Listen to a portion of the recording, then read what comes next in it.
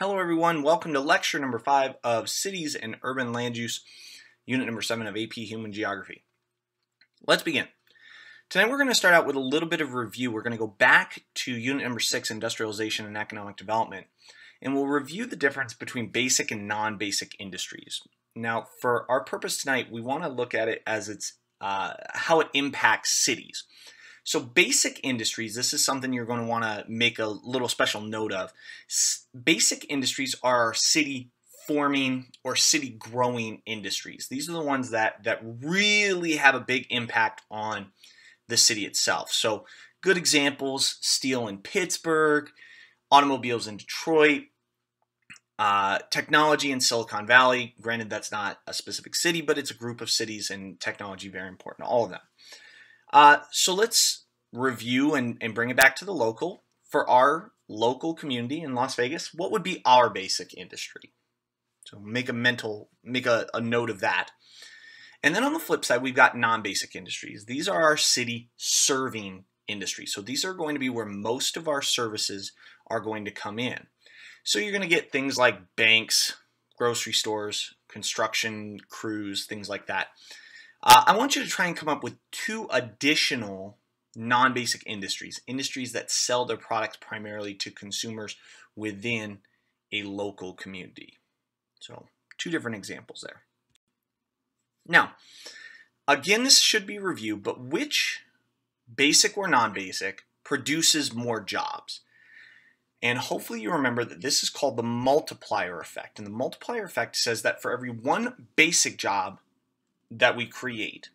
There are two to four, and depending on who you talk to, the number varies, uh, jobs in the non-basic area that are created. So that's that's the difference, and that's once again called the multiplier effect. Want to know that and and know the ratio one to two to four.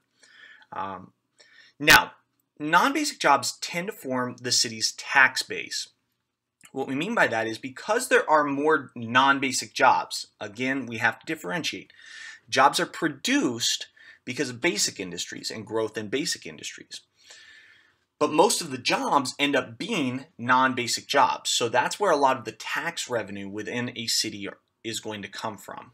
And for public services, we're talking education, uh, public transportation, police, fire, uh, fire departments, those types of things. That's typically going to be money that is coming from a city or some kind of municipality. And where they get that money from is typically tax revenue. And so a lot of that tax revenue is coming from non-basic jobs. Now, this does or can present an issue, particularly in low-income areas, uh, which again, as we talked about our different models, typically tends to be closer to our central business district. Now, let's we'll, we'll give a, a real-life example so we can see how this plays out. Let's take, for example, the city of Detroit which is the largest municipality to declare bankruptcy in the United States. Uh, first off, what is its basic industry? And we just reviewed that should be automobiles. And are is this still the major automobile manufacturer in the United uh, United States? And the answer is no. Those jobs have started to move elsewhere, particularly domestically. They've moved to the south. So as those basic jobs move to the south, same multiplier effect here, but it works in reverse. For those jobs leaving, we don't need as many services. I mean, this is this is central place theory. This is rank size rule. So those jobs leave as well. That tax revenue leaves, which then means that you have less money to pay for those services. And so when you start dividing up where the municipalities are, we've got the central city and then you've got the outlying suburbs. Well, the outlying suburbs, they're still going to have those services, but then that central city tends to lose a lot of those services. And that's something that we'll talk about in the next lecture. Now, cities that are founded or grow dramatically because of a basic industry don't remain that way forever. Uh, Detroit's a great example right now. We're seeing a lot of those automobiles shift to the south. Pittsburgh, same kind of thing built on steel manufacturing no longer is necessarily uh, the biggest city in terms of that. And those are examples of deindustrialization. Um, university towns that start out because they have a university there continue to grow over time and start to diversify. Uh, mining towns, uh, great example, bringing it back to our local state. Uh, Virginia City, it was a boom town, huge mining industry, and that left. The mine closed up, and people were out of jobs, and so they had to, to readjust, and a lot of people moved elsewhere. Uh, if you've ever been to Virginia City now, uh, you you can see the mine, but uh, really because it's more of a tourist attraction. So these types of things change over time and cities diversify. And so we start to see other jobs, other services come into play. Um, and as cities grow or shrink based on central place theory, we know they're going to have more or less services as a result. Now, there's other factors at play here. For example, we have to mention immigration. Let's review. Ravenstein's laws of migration. There were seven of them. I would like you to review all seven of those because uh, as we prep for the AP exam, now's the time that we want to start making connections to other areas. And Ravenstein is a really big one when it comes to understanding migration. So go back, take a look at those seven laws of migration. And if you don't remember what they are off the top of your head, go back, take a look at them. Uh, but we, we definitely want to make sure that they're fresh in our heads. Now, the industrial cities that, that we started out talking about needed workers, and so workers moved there because, according to Ravenstein, the primary reason that people are going to voluntarily move is because of economics. So that was one part of what Ravenstein said. Now, things also changed as countries become more developed. So in the United States, in the history of the United States, as we became more developed, we started to see more dual income households. We saw greater gender equality. And really, the big transition here is during uh, and immediately after World War II. When men went off to fight at war, uh, we needed workers. And so a lot of women, for the very first time, came into the workforce. And after the war, didn't want to go back to the house. They wanted to stay working. And so we really saw a huge bump in the number of dual income households. And that also kind of centered around the same time that we moved into Rostow's fifth stage, that age of mass consumption. Uh, and so we're going to continue talking about that throughout the rest of the lecture. But this had a big impact on the cities because we started to see a lot more people with more money start to move out of the city for the first time. And so that was something that, that had a big impact on these cities and, and how they changed over time. Now, as a profession, urban planning hasn't really been around all that long, about 100 years as a formal profession. But to be clear, uh, cities have been designed for thousands of years. Uh, so we, we have to understand that. But as a formal profession, so it's only been around for a short period of time. Now, as an urban planner, there's a lot of different things that uh, you would probably consider. Things like aesthetics, which is going to be like uh, the actual outward appearance, uh, how beautiful it is, things like that. Um, transportation networks, for example, we want to make sure that uh, people are able to get from uh, well where they live to where they work and back and forth, and we have to account for how many people are living in that area. So there's there's a lot going on there. In addition to that, we want to account for public services, which is once again going to be those services provided by the government. Uh, and even at this point, we can mention central place theory because range and threshold would be something that an urban planner would consider. Um, now, typically, range and threshold would be the number of people you need to sustain your business. So we're talking about a private industry um, and how far they're willing to travel for that that good or service. Uh, but at the same time, for an urban planner, you do have to consider how many people, how many kids are going to be going to that school. Um, how many, uh, how far is that fire truck going to have to travel in order to get there before we put out another one? Uh, or build another fire station, for example. Uh, so this is absolutely something that you would want to consider. And there's many other things um, which is when we can introduce one of our vocabulary terms, zoning laws, legal restrictions on land use that determine what types of buildings and economic activities are allowed to take place in certain areas. In the United States, areas are most commonly divided into separate zones of residential, retail, and industrial use, and there's a lot of variety within that. But this is important again because as an urban planner, do people want to live next to industrial areas? Do you want to put residential next to industry? And if not, where then are you going to put industry? Where are you going to put residential? These are all things that as an urban planner you would have to consider. Now, building on what we mentioned with aesthetics and outward appearance of buildings and things like that, there are some architectural traditions that we want to at least mention uh, in the event that that we see them uh, on the cultural landscape. This is something that would would help us.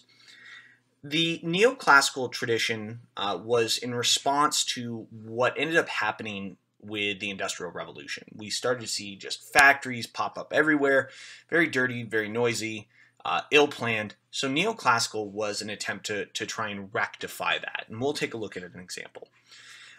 Um, the modern tradition was in response to neoclassical because it neoclassical was is very very beautiful, but it's not incredibly efficient. It takes a lot of time, energy planning, uh, design, things like that. Modern was very, very efficient. And then finally, postmodern uh, was in response to some of the issues of the modern style. So we're going to take a look at each of these. Alrighty, so let's take a look at some examples of these different architectural traditions, and we'll begin with the neoclassical. Uh, just the name itself means that it is a contemporary take on classical architecture. And so this was largely in response to those uh, to the industrial cities that that developed, and we wanted to make them more aesthetically pleasing. So uh, one example that I would like you to write down is the City Beautiful movement, and we'll actually see some examples of this uh, in a documentary coming up. But in the image, you can actually see some of the elements of of neoclassical design. Um, we've got columns, we've got domes, uh, which is just another example of the late neoclassic Baroque period. And as I always say, if it's not Baroque, don't fix it. That's a Beauty and the Beast joke. I was really happy when I thought of that. Continuing on, uh, we've got the modern style, and uh, the modern style really was designed in response to the neoclassical. Uh, neoclassical is very, very beautiful, but takes a lot of time to design and build, and and it, it's not going to look like every other place. It's going to be very unique, and so that that takes some time and energy to do. Modern buildings, not so much. They're very, very efficient. Uh, they start to look very much like one another. Uh, typically are going to have certain elements in common. Going to be very geometric in nature, uh, particularly like squares, especially. Um, we're going to see the same kinds of building materials typically used, glass and steel predominantly. We're going to see concrete used as well. And uh, really, it, it's always kind of reminded me almost of like an operating room which is uh, very, very clean, very neat, very sterile, but not especially pleasing to look at. It's not especially welcoming. Um, and that's not, you know, a disrespect towards modern styles of architecture, um, because it was very efficient, and that was in response to the neoclassical period, and so that was that was what its focus was. And then finally, we have the postmodern style, which really was an attempt to try and bring together the elements, uh, the positives of neoclassical with the positives of the modern movement. And what you see in this image, this is actually a building that is commonly called the Gherkin in London. Uh, that's the nickname that it has. And uh, it brings together some of the elements of neoclassical in that it's more aesthetically pleasing to look at. Uh, it is unique, but also uh, it's more efficient in, uh, in, in the same vein as the modern movement. So that's what we we tended to see. Um, we started to see more uh, bright colors kind of brought back into this and incorporated into it. So not every building looks exactly the same, but at the same time we're still able to efficiently kind of go about handling that. As we transition now, um, we need to mention rural to urban migration. So as we start to to talk about the the changing dynamics of the cities, uh, this is one contributing factor, and we remember that this is one of Ravenstein's laws of migration. Now, again, when we talk about rural to urban migration, we're largely talking about it in less developed countries, in developing countries, because in MDCs, uh, pretty much everyone has moved to an urban area. So the rural populations are very, very small and are less likely to make a, a, big move to an urban area. They tend to be farmers, and we need those farmers to support the very large urban population. Um, the rural to urban migration has already happened, in other words. But why do we see a lot of people moving from rural to urban areas? And a lot of times, this goes back to lecture number one when we talked about the contradiction of the city. A lot of times, it is for economic reasons. Once again, one of the things that we talked about with Ravenstein. There tends to be more jobs uh, and thus more opportunities. And we typically see that in big cities because they have more services. More services mean more jobs. And that's once again that central place theory. Um, better wages a lot of times than out in rural areas, but at the same time, just because there are more jobs, just because there are better wages, does that mean that there's enough jobs and money for everyone that is desiring to move to an urban area? And the answer is overwhelmingly in LDCs, no. And so what we end up starting to see are these squatter settlements emerge. And these are areas in particular in less developed countries. And we're going to be talking about this more extensively as we get into our final lecture from this unit. So kind of hold on that. Now shifting in gears a little bit um, into modes of transportation. And at this point, we want to talk about uh, the different ways that people can get around in an urban area. Obviously, we have things like cars, buses, trains, subways, things like that. Um, the question that I want to ask you on this slide is which one is dominant here in the United States and has that affected the layout of US cities? So obviously what we're going to see is that uh, in the United States we are predominantly driven by private motor vehicle uh, cars. But how would our cities look if most people got around by buses, if most people got around by trains, if most people got around by subways? How would that affect the layout of our cities and subsequently things like services, all these different types of things? So try to imagine that. It's really more of a rhetorical question, but it is something that is important to kind of ponder because as our populations continue to grow and as more people want to have their own private motor vehicle, um, is that sustainable? And so we have to kind of wonder what might there be in the future. Now, back to the original question, which was, you know, what do we drive cars and has it affected the layout of the city? And the answer is yes, because we've started to see more and more people move out to the suburbs. And one very big element of this was the interstate highway system, which is one of our vocab words, and here's the definition. Begun in the 1950s and funded largely by the federal, that's U.S., government, it created large, limited access superhighways. Limited access meaning that it doesn't stop at every street. Um, instead, you have limited access connected cities and made it easier for people to live further away from cities. So here's what we're looking at when we talk about the interstate highway system that was begun in the 1950s and now is a very important, uh, I would even say essential part of daily living for many Americans. I, I would probably even go so far as to say most Americans. Is that if you took this interstate highway system out, I don't know that people would be getting to, to work in the same fashion. I don't know that cities would look the same way. It would look dramatically different if not for this interstate highway system. So a couple components that we need to, to be aware of. It took years and years for this to be built, but essentially the we have a grid-like network. I know it doesn't really seem that way, but we do. It's a grid-like network. And the highways that run east to west are going to be numbered in with even numbers. And the highways that run north and south are going to be numbered with odd numbers.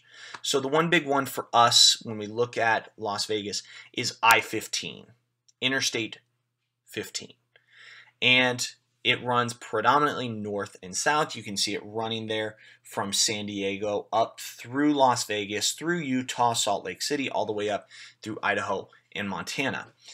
And so runs predominantly north and south, therefore it's going to be numbered with an odd number 15.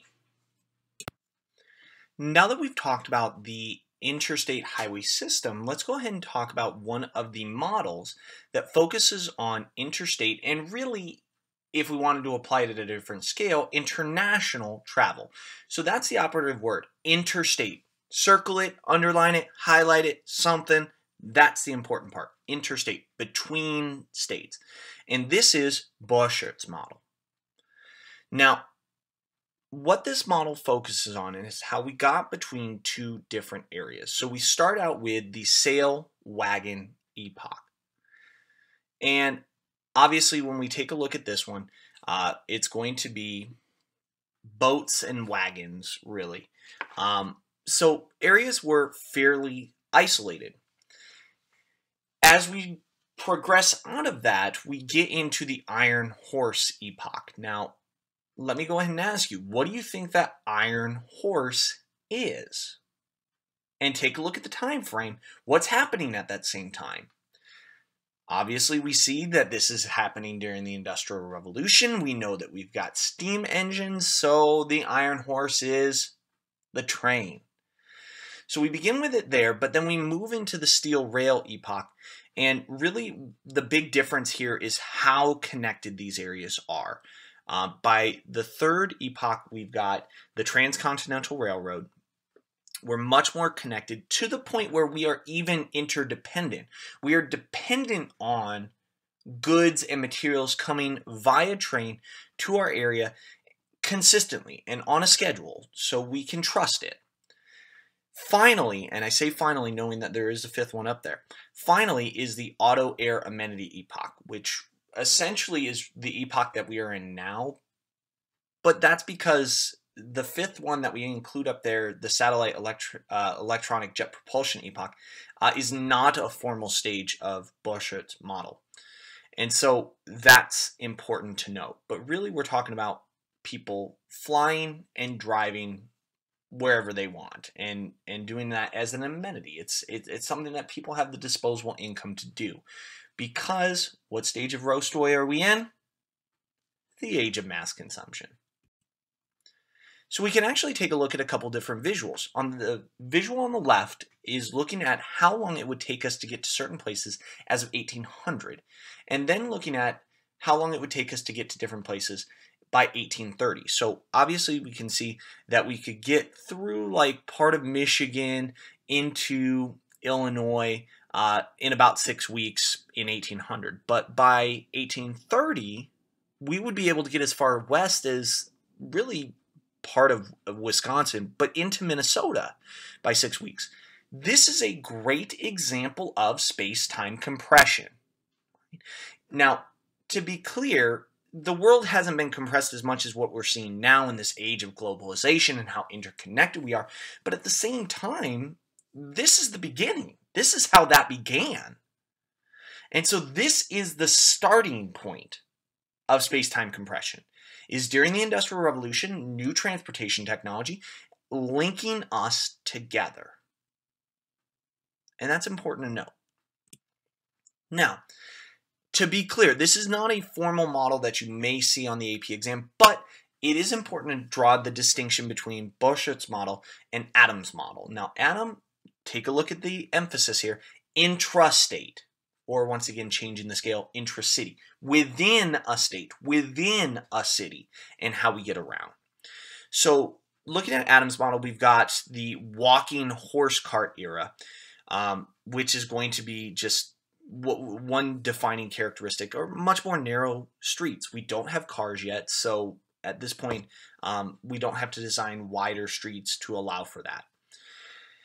As we move into the electric streetcar era, this is the era of mass transit when we've got a lot of people living in cities, and so they can get on that electric streetcar, they can get on that trolley and be linked to different areas of the city very, very quickly. They don't necessarily have the disposable income yet to buy a car. That comes in stage three and later stage four. And so in stage three, notice the emphasis here recreational auto era. We aren't dependent on it. And really, it's only people who have very high incomes, what we would call high SES, socioeconomic status, who can afford it. Everyone else is still using public transportation at this point. It's not until we reach the fourth era, the freeway era. Now take a look at the time frame here. What major world event ended in 1945? World War II. And at this point, we've got people coming back, and this is a huge shift for us here in the United States because it is that at this point that we are shifting from a wartime economy to a peacetime economy. And so, in terms of production, we have been cranking out all of these tanks and trucks and planes and bullets and all this kind of stuff that we were doing during the wartime. Now it's peacetime. We don't need to do that anymore.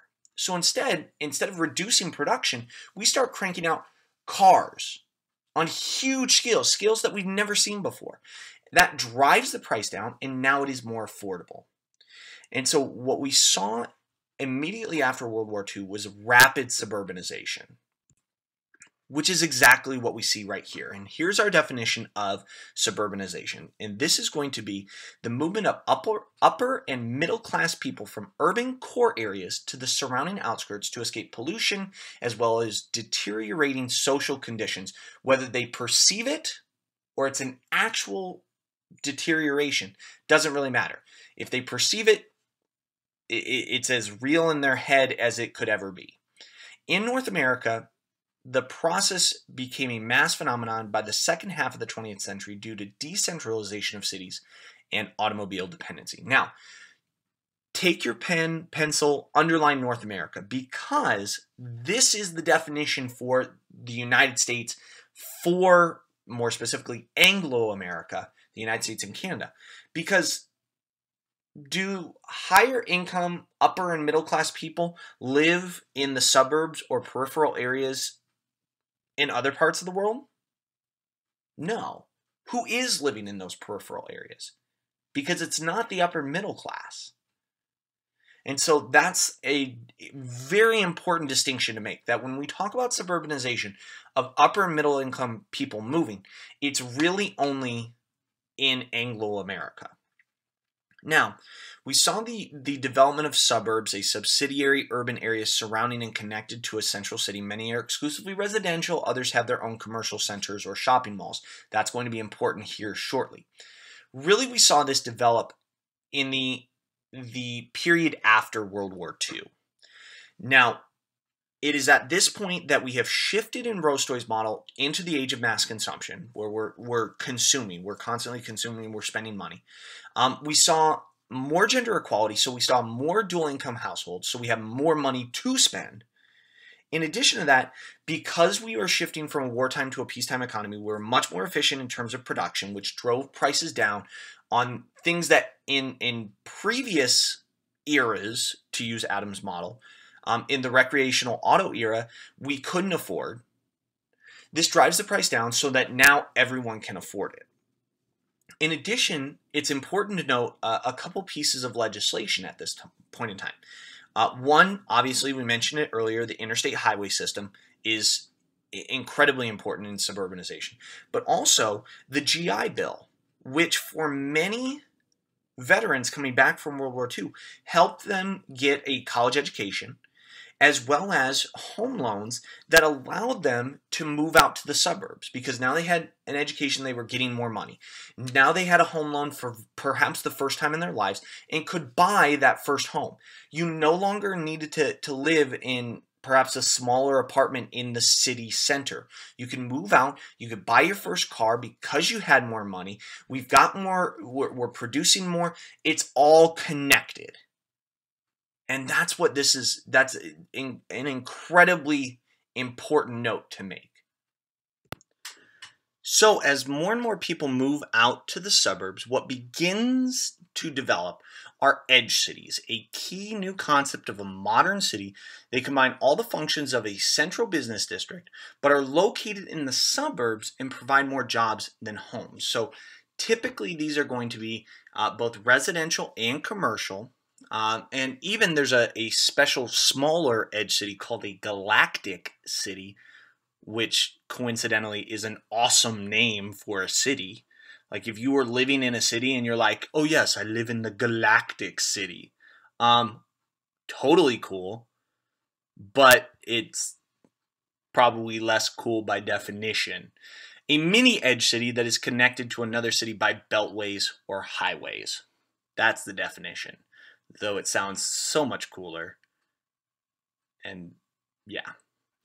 So, as these edge cities continue uh, to develop, now typically it start uh, starts out as residential, but remember what we talked about in central place theory. As more people move into a settlement, what then develops? More services. So that's what we're talking about when we get down to that, that last full bullet point where we say other industries and businesses develop. Well, central place theory tells us that. And so we're going to see things like shopping malls that's going to have a lot of commercial activity there, uh, combined into a relatively small, condensed area, high density, high concentration, um, very light manufacturing, uh, if any. And then we're going to see some other specialized industries depending on the demands of the people in, in those particular areas. For example, theme parks. Here in Las Vegas, two great examples. Uh, relatively recently, we've added two new water parks. We've got Wet and Wild out on the west side, and we've got Cowabunga Bay on the east side. Is it any surprise that these two water parks are on completely opposite sides of the city?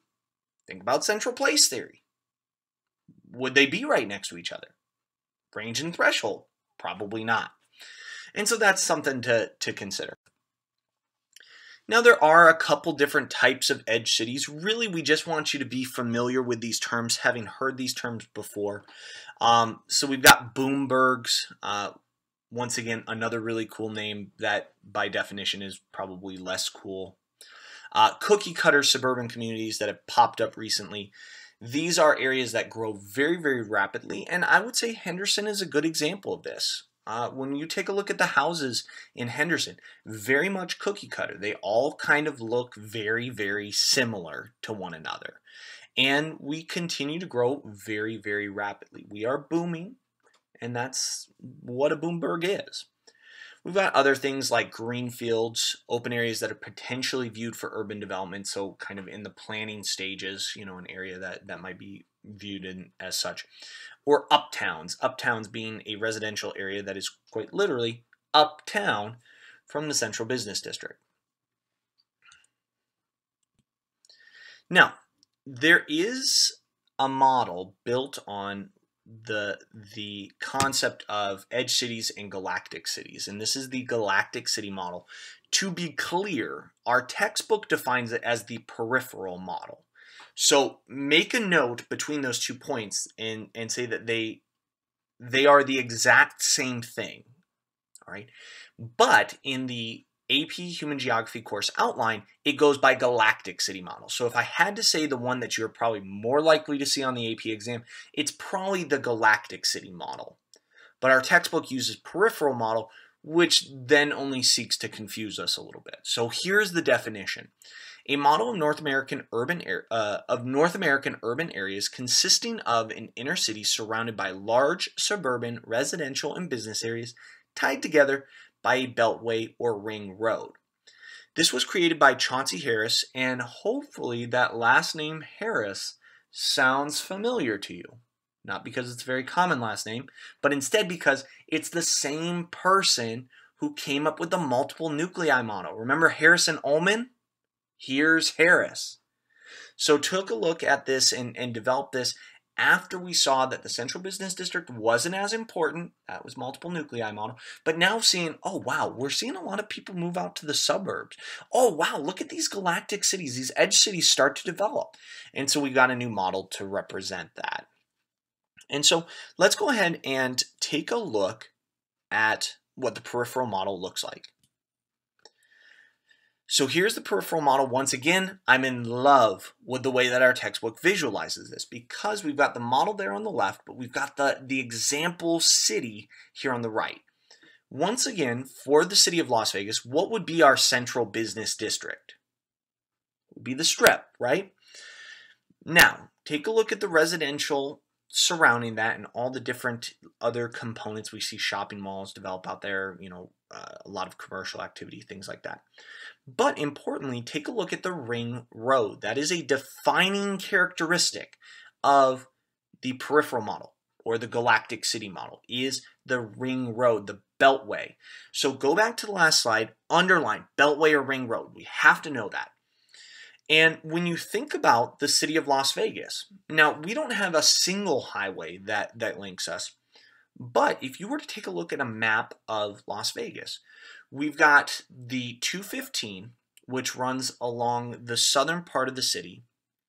And then as you get further out west, curves north. Then you've got the 95, which runs essentially north to south, but then goes along the east side of the valley. And then you've got the I 15, the Interstate 15, that cuts right through the middle of it, north to south. So you could essentially drive all the way around Las Vegas just on our freeway system. Is that not the same thing as the Galactic City model? We're linked by a beltway and ring road. You could get around our city just like that. And it's probably the fastest and most efficient way to get around our city. So the Galactic City model has some really important points that we do see in modern cities, especially in our city, as we continue to suburbanize. Now, as this trend of suburbanization continues, one thing that we without a doubt have to mention is urban sprawl. One of our vocab terms, unrestricted growth. Key part of that, unrestricted growth in many American urban areas of housing, commercial development, and roads over large expanses of land with little concern for urban planning. Now, one of the biggest concerns, especially here in the United States, is the loss of prime agricultural land as these cities continue to grow. Now, is that a huge concern for us living in Las Vegas? Like, if we continue to grow, uh, are we cutting out the available land to grow our food? No, not so much. But uh, it would be an interesting case study, and, and we've looked at this in, in, in past classes that I've taught, of the city of Chicago. As the city of Chicago continues to grow, and it's only really growing in one direction because the city itself butts up to Lake Michigan, it continues to grow outward, and you are cutting into some prime agricultural land. And so this is a very real concern uh, for us here in the United States as more and more people want to move out to the suburbs. Now, what one geographer has done is looked at what he calls the urban footprints around the world. Now, a couple different things. Um, first off, we're looking at essentially what would be a choropleth map because we've got different uh, classes here. The red being the United States, yellow is Asia, Latin America is green, Europe is blue, Australia is kind of that bluish green turquoisey color, Africa is black, and then orange is the Middle East. So when we take a look at this, where are the largest urban footprints? The largest cities not in population size necessarily. We're talking right now just in geographic area. And when we look at it, the answer is the United States. You know, for example, New York City, okay, we, we kind of expect it's our largest city and, and we have very large geographic cities. But Atlanta is not one of our largest cities.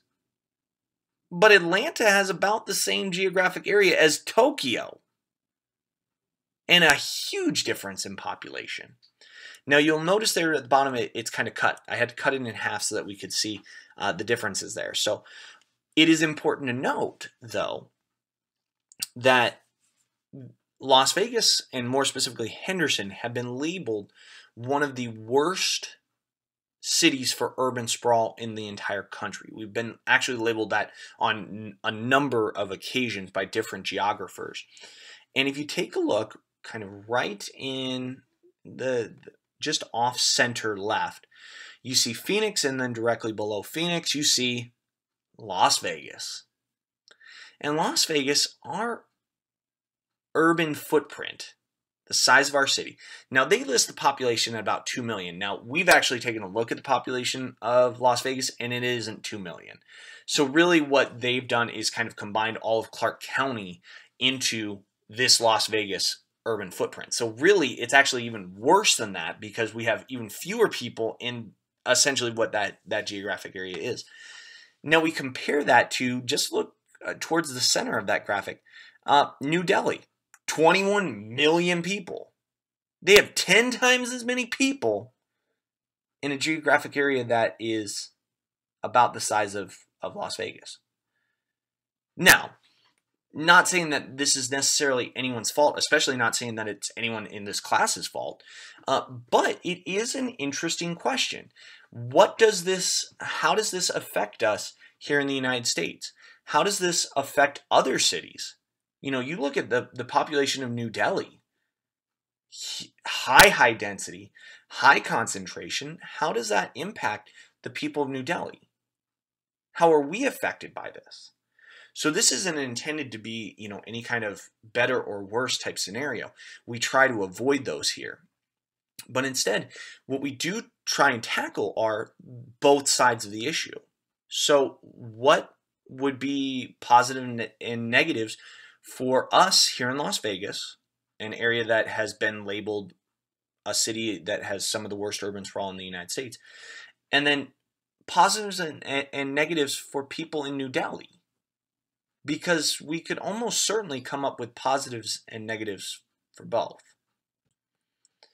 Now, there are other issues with regards to this. You've already started thinking about them. One example uh, of an issue that, that could present itself is when it comes to decision making. Now, this slide looks very, very uh, should look familiar to you because this is something that we mentioned way back in political geography when it comes to decision making and different levels of government, in this case, local government, and who gets to make the decisions. Because as these urban areas expand, and let's say the city of Las Vegas expands beyond the boundary, the urban area that is Las Vegas expands beyond the boundaries of the formal city of Las Vegas. How does this, how are we affected by this? Because um, just one example uh, for you. If you were to commit a crime, depending on where you are, there's different agencies that could potentially prosecute you. You could be prosecuted by the city of Las Vegas, you could be prosecuted obviously by cities of Henderson or North Las Vegas, things like that. Um, you could be prosecuted by Clark County. And each of these different entities have different laws with different penalties. Now, that's just one example. And that's an example that's a little bit more dear to my heart um, because my father is a lawyer. So I've actually had conversations with him about this. But, you know, start thinking about this beyond just law enforcement. Start thinking about this when it comes to schools. Clark County School District is one of the largest school districts in the country. What happens if we start to break these this up as has been proposed? Um, what if we do a Henderson School District? Well, what about some of the areas that write Henderson on their mail, but are outside the actual boundaries of the city of Henderson? Are they part of that? Well, technically, no, they're in unincorporated Clark County. So these are some of the issues as these urban areas continue to grow. Now, this isn't all doom and gloom. I'm not just giving you all these negatives. What are some of the things that have been proposed in response to this? Well, green belts are a way that has attempted to deal with urban sprawl, but this is primarily in Europe. So make that note. Green belts associated with Europe. And it's one of our vocab terms, a ring of land maintained as parks, agriculture, other types of open space to limit the sprawl of an urban area. So designed greenery. Now, on the US side, we have seen the development of slow growth or sometimes uh, mentioned as smart growth cities. These use mixed land use, so you've got some commercial, some residential, instead of having distinctive zones. Um, mixed residential, so we've got you know single family detached homes right next to apartments, right next to duplexes, so mixed residential, not clearly defined boundaries. Um, but there are, in this case, well-defined boundaries, so you can't sprawl beyond that, but not defined in terms of residential and very walkable communities. So you don't necessarily need a car. You would be able to walk from different places. So now think about some of the issues of urban sprawl and how slow growth or smart growth cities, uh, as well as green belts, seek to rectify that. So what are the problems and how do these respond to that? And our final slide for tonight is on new urbanism, which is one of our vocabulary terms and is intended to be a response to urban sprawl and even some of the other issues that might have come up over the course of, of this particular unit. So here we go. Here's our definition. New urbanism is outlined by a group of architects, urban planners, and developers from over 20 countries as an urban design that calls for development, urban revitalization, and suburban reforms that create, here are the important parts, walkable neighborhoods. Emphasis there. Walkable neighborhoods with a diversity of housing, different styles of residential housing, and jobs. So important to underline those. Walkable neighborhoods, diversity of housing, and jobs. Now, uh, this is something that I do think is, is likely to be on the AP exam. So let's go ahead and run through the 10 different components that are part of New Urbanism. There is actually a charter of New Urbanism, a New Urbanism Congress. So these are actually laid out in a lot of detail. I'm going to give you just snippets of it from uh, a source called newurbanism.org. So here we go. Starting with walkability. What we mean by that is that most things are going to be within a 10 minute walk of home and work uh, and that streets are designed to be pedestrian friendly. So buildings are close to the street. We're going to see tree lined streets, things like that.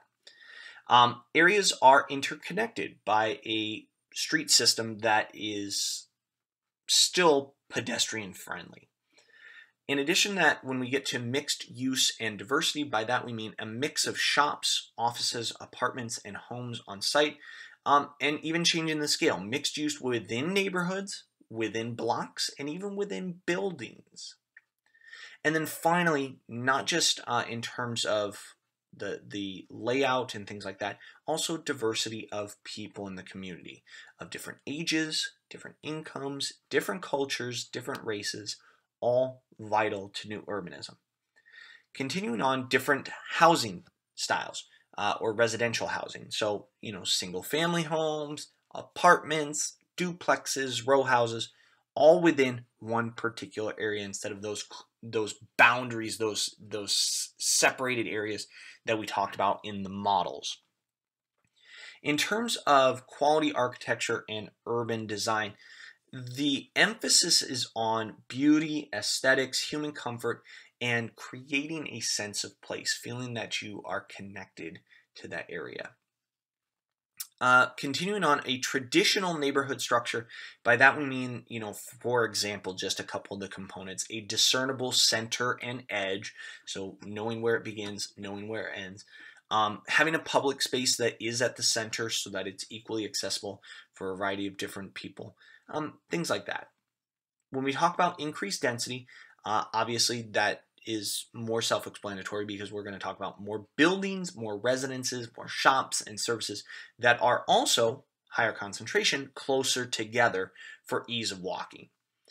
Uh, when we mention smart transportation, we're talking green transportation. So a network of high quality trains that connect cities, towns, and neighborhoods together. So yeah, things are walkable, but if you need to get to other areas outside the, uh, that particular community, you're able to. Um, sustainability, a minimal environmental impact, but also um, we're going to see energy efficiency, limited use uh, of what they define as finite fuels, um, more local production, more walking, less driving. So all of this comes together. Uh, and really, that's what number 10 is all about is that taken together, these add up to a high quality of life, well worth living, and create places that enrich, uplift, and inspire the human spirit. Again, that's taken directly from New Urbanism. Now, what I would like you guys to answer is this, and I know this has been a very long lecture and we're almost done, but I want you to think is this the, the way that we describe this is this the, uh, uh, this community type? Would you like to live there? And then more importantly why or why not? And then continuing on with that is this realistic? Because a lot of times in asking that question in the past a lot of students have a particular answer for one and a particular answer for the other. And let's say, for example, if you would like to live in this but don't think it's realistic, why isn't it realistic? If enough people wanted to live in this type of an uh, of a community, couldn't it then become realistic if the demand is high enough? But we'll talk about that in class. Thank you very much for your attention tonight, folks. Have a wonderful evening. We'll see you in class.